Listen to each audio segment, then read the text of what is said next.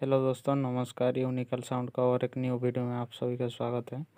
जैसे कि आपको थंबनेल देख के पता चल ही गया होगा, आज किस टॉपिक को लेकर बात करने वाले हैं। तो चलिए फिर भी मैं बता दे रहा हूँ कि जैसे एम्पलीफायर को चूज़ करना पड़े तो टॉप के लिए कौन सा बेस के लिए? तो आज हम दो ब्रांड का एम्पलीफायर लेने वाले हैं, जिसका थोड़ा थोड़ा रिव्यू करेंगे, उनके बारे में समझेंगे। तो वो होगा एक N X audio M T सोलह सोलह ज़ीरो वन का जो और उसका लेवल का और एक एम्पलीफायर होने वाला है, जो S B S P B five K, ये वाला एम्पलीफायर जो स्ट्रेंजर की तरफ़ से आता है। आज देखने वाले हैं दोस्तों इनके डिफरेंस के बारे में और ये दो एम्पलीफायर जो है, कहाँ कहाँ हम यूज़ कर सकते हैं टॉप कितने यूज़ कर सकते हैं बेस कितने यूज़ कर सकते हैं, इसका स्पेसिफिकेशन क्या है ये कितने ओम पे कितने लोड देता है, ये सारे कुछ चीज़ के बारे में हम आज जानने वाले हैं। तो चलिए वीडियो के साथ बने रहिएगा। चलिए दोस्तों, वीडियो के ऊपर चलते हैं। पहले जो हम बात करेंगे जिस एम्पलीफायर के बारे में, वो होगा N X audio M T बारह ज़ीरो वन, जो कि आपका पाँच हज़ार वाट का एम्पलीफायर है। वैसे दूसरा एम्पलीफायर भी वही पाँच हज़ार वाट का ही होने वाला है आपका, लेकिन पहले इस एम्पलीफायर को लेकर बात करेंगे। पहले दोस्तों इसका पावर रेटिंग देख लेते हैं। पावर रेटिंग इसका जो है कितना ओम्स पे कितना आउटपुट देता है। तो दोस्तों आप डिस्प्ले में जैसे शो हो रहा होगा, आप देख ही सकते हैं। ये जो एम्पलीफायर है, ये एट ओम पे आपका तेरह सौ पचास वाट दे देता है पर चैनल और इसका जो फोर ओम पे देता है, वो है अठारह सौ पचास वाट और इसमें जो टू ओम्स पे देता है दोस्तों, वो पच्चीस सौ वाट है। पर चैनल तो दो चैनल को मिला के हो जाता है आपका पाँच हज़ार। तो पाँच हज़ार वाट का एम्पलीफायर है। आप, इसमें मैं तो बोलूँगा, क्या आपको किस टाइप का स्पीकर चलाना चाहिए बेस चलाना चाहिए या टप चलाना चाहिए, वो तो बाद में देखेंगे। लेकिन इसका और भी आउटपुट रहते हैं, जैसे ब्रिज ब्रिज मोड रहते हैं। ब्रिज मोड में आपको एट ओम पे सैंतीस सौ वाट दे देता है और ब्रिज मोड में फॉरम पे जो देता है वो forty eight word forty forty eight दे देता है। तो इसका जो डंपिंग फैक्टर है वो है आठ सौ। बहुत ज़्यादा तो मैं नहीं बोलूँगा, लेकिन बेस चलाने के लिए काफ़ी है। और ये जो एम्पलीफायर है वो, उसका जो टाइप है वो क्लास एच है। इसमें और एक खासियत है दोस्तों, इसमें क्रॉसओवर का सेटिंग दिया हुआ रहता है और इसमें बैलेंस इनपुट रहते हैं। तो ये सबसे बेहतर रहता है बेस चलाने के लिए। तो इसमें आप कितने वाट का बेस डाल सकते हैं? तो ये बेस जो डालेंगे वो तो टू ओम पे तो हम डालने वाले डालेंगे नहीं। तो हम जो भी डालेंगे वो होगा आपका फोर ओम या एट ओम पे। तो एट ओम पे अगर आप दे रहे हैं तो 800 वाट से लेकर हज़ार वाट तक तो फोर चैनल दो बेस आप चला सकते हैं। इसमें जो एट सौ एट ओम पे है, वो होगा आपका तेरह सौ वाट तक आप बेस चला सकते हैं। पर चैनल पर एक बेस होगा आपका। तो इस टाइप के करके आपको बेस का जो हो गया, आप समझ गए होंगे। टू ओम्स पे आपको जो अगर बेस तो चला नहीं पाएँगे तो टॉप ही चलाना होगा आपको। तो टू ओम्स पे आपको देना पड़ेगा आपको। हज़ार हज़ार वाट या फिर बारह सौ बारह सौ वाट छः सौ छः सौ वाट का एक स्पीकर होगा तो आपका चल जाएगा। वो फोर ओम पे आपका काम हो जाएगा। बाकी रहा ब्रिज मोड में। ब्रिज मोड में आप पैंतीस सौ वाट तक एट ओम पे आप डाल सकते हैं।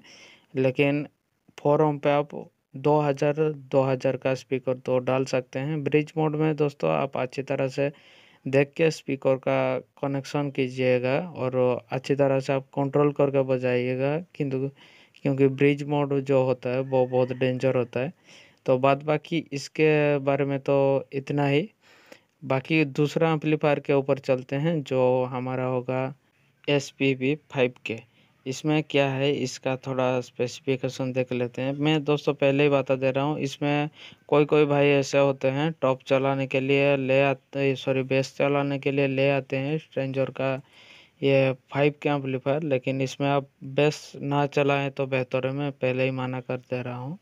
तो इसका थोड़ा स्पेसिफिकेशन भी देख लेते हैं। चलिए इसमें क्या है कि हम दूसरा कोई चीज़ बात नहीं करेंगे, जैसे नेट वेट हो गया, पावर तो पावर इनपुट हो गया, या ये सारे चीज़ मुझे नहीं बोलना आता, और आता भी आता भी होगा तो कोई कोई फ़र्क नहीं पड़ता, क्योंकि ये सारे कुछ चीज़ आप सभी को पता ही होगा।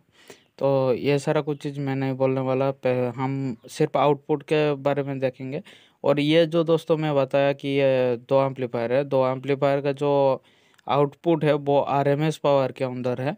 तो इसका जो पहला जो एट ओम पर जो आउटपुट आएगा, वो हज़ार वाट से लेकर बारह सौ वाट तक आएगा, वो वो भी पर चैनल और इसमें जो है एट ओम्स पे जो होगा इसमें सत्रह सौ वाट से लेकर अठारह सौ वाट तक होगा। और इसमें जो टू ओम पे होगा आपका आउटपुट जो होने वाला है दोस्तों, वो आपका पच्चीस सौ पच्चीस सौ वाट का आ जाएगा पर चैनल पर। तो इसमें हम किस टाइप का स्पीकर या फिर किस टाइप का सोपर यूज़ कर सकते हैं? सोपर तो मैं पहले ही मना कर चुका हूँ तो टॉप देख लेते हैं, कैसा चला सकते हैं। अगर देखिए ओम्स के बारे में आपको पता ही होगा, अगर ओम्स को लेके आपको कोई भी डाउट होगा तो हमारा डिस्क्रिप्शन में लिंक होगा, आप वहाँ जाके चेकआउट कर सकते हैं। इसमें जो पहला टू ओम्स पे कितने स्पीकर के हिसाब से हम लोड देंगे, बहुत सारे कुछ चीज़ देखने वाले हैं। इसमें जो है, हम पहले टू ओम और फोर ओम ही देखेंगे एट ओम को छोड़ देंगे। जो टू ओम पे होगा आपका, वो हो जाता है आपका, जैसे कि पच्चीस सौ वाट है तो चार स्पीकर आपका ज़रूरी हो। तो आप छः सौ छः सौ वाट का स्पीकर जो है, एक टॉप में होगा तो आपका बारह सौ वाट हो जाता है। तो बारह बारह, चौबीस सौ वाट हो जाता है। तो आपको बारह सौ वाट का एक टॉप लगाना पड़ेगा। मतलब दो टॉप एक चैनल में और दूसरा चैनल में दो और टॉप। तो इसका फॉरम पे देखेंगे। इसमें 800 वाट का जो है टॉप, सॉरी 800 वाट का जो है एक स्पीकर होगा तो आपको टॉप भी बहुत ज़्यादा मजबूती होना चाहिए। तो इस तरह करके आप टॉप चला सकते हैं। तो मैं हमेशा कहूँगा टॉप चलाते हो तो आप टू ओम पे चलाओ। फोर ओम पे चलाओ तो भी बहुत अच्छा है। अगर आपके पास एम्पलीफायर का थोड़ा कमी है तो आप इस, आपके पास इस तरह का एम्पलीफायर होगा तो आप फोर ओम पे चला सकते हैं। इसका जो दोस्तों बेसिक डिफरेंट जो होगा, मैं अभी बता दे रहा हूँ। इसका जो दोस्तों डिफरेंस होगा, इन दोनों एम्पलीफायर के अंदर, ये स्ट्रेंजर और एन एक्स ऑडियो के अंदर जो ये दो एम्पलीफायर के जो ज़्यादा, सबसे ज़्यादा जो डिफरेंस है, वो क्वालिटी को लेके है। उस एम्पलीफायर में और इस एम्पलीफायर के अंदर बहुत ज़्यादा क्वालिटी है। और उससे भी अच्छा जो है, वो है एक्स ऑडियो में, क्योंकि उसमें डंपिंग फैक्टर ज़्यादा दिया हुआ है, उसमें आपका क्रॉसओवर सिस्टम भी दिया हुआ है, लेकिन बैलेंस इनपुट भी, हालाँकि इसमें भी बैलेंस इनपुट दिया हुआ है, लेकिन ये वाला एम्पलीफायर आपको टॉप के लिए बेहतर रहेगा, लेकिन बो वाला एम्पलीफायर आप टॉप भी चला सकते हैं और बेस भी चला सकते हैं। वो आपके लिए सबसे बेस्ट रहेगा। तो इस ये, इससे दोस्तों किसी को डिमोटिव करना नहीं था कि आपके पास अगर है तो अच्छा ही है, कोई दिक्कत नहीं है। लेकिन जो सही है, मैं वो बता दिया। कि जिन लोग, जिन भाई के पास ये फाइव के का जो एम्पलीफायर है, वो है तो आपको कोई टेंशन लेने वाला कोई चीज़ है नहीं। आप चला रहे हैं तो चला रहे हैं, कोई दिक्कत नहीं है। लेकिन मेरा मानो तो आप उसमें टॉप ही चलाए और बेस ना चलाए तो आपके लिए बेहतर रहेगा। तो आज के लिए दोस्तों इतना ही। नमस्कार, धन्यवाद।